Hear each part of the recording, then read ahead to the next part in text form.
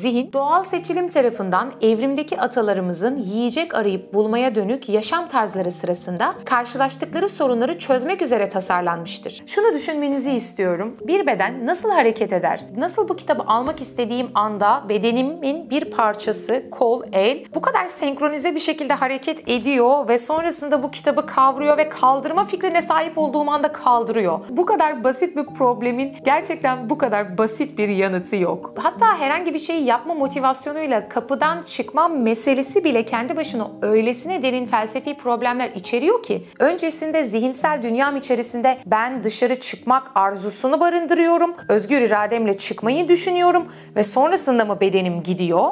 Yoksa sistem öyle işlemiyor da materyal bir dizgenin bir sonucu olarak bedenim hareket ediyor da bedenime eşlik eden zihnim ''Aa ben şu an kapıdan çıkmak istiyorum'' fikrini mi barındırıyor?